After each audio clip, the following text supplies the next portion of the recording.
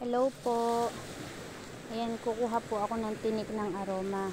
Kasi isa rin po ito sa pinangsasangkap ko. Pero syempre, hindi ko kailangan sabihin kung saan ko to ipang sasangkap. Kung paano ang procedure. Pero ito yung nagagamit ko talaga.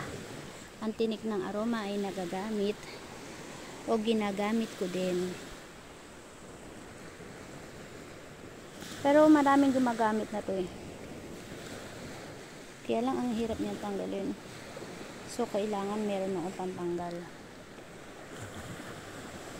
Ito yung nilalagay ko sa ilang ano ko. Mga secret weapon.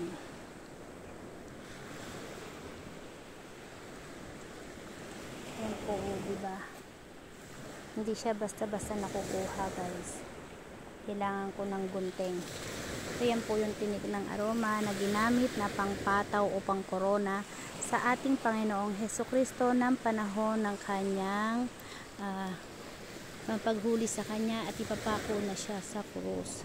So yan po yung uh, koronang tinik na ginawa at ipinotong, ipinutong sa kanyang ulo habang siya ay uh, lilitisin at bago ipinako sa krus. Yan po ang pinang corona po sa kanya. Ang tinik ng aroma. Yan po. Ang dami guys.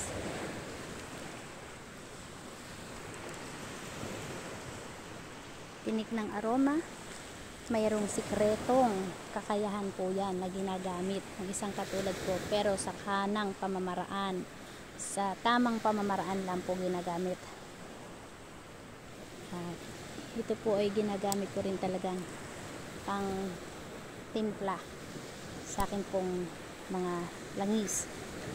Yan. pero syempre dinasalan pa rin yan kinargahan, binuhay para magkagana.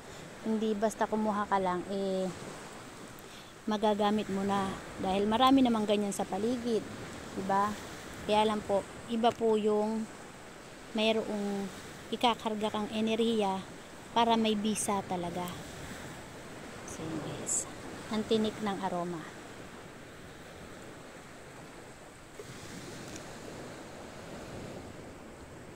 Sikretong weapon. Pero ngayon, di na sikreto. Nakita niyo na eh. Pero sikreto yung pamamaraan. Hindi lang pwedeng ilahad. Hindi basta pwedeng subok-subukin lang nang walang orasyon o dasal. Kailangan dasalan at lagyan ng enerhiya para gumana. Pero napakahusay po na yan at subok na subok ko po yan talaga.